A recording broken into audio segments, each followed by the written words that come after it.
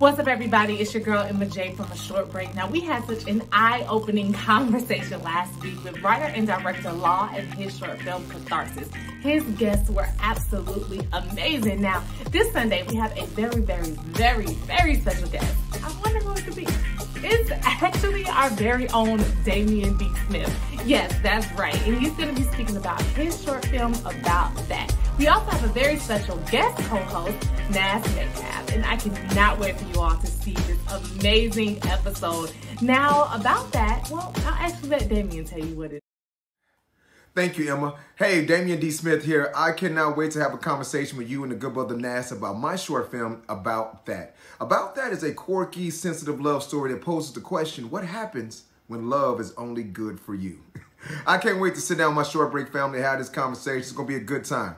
Talk to you soon.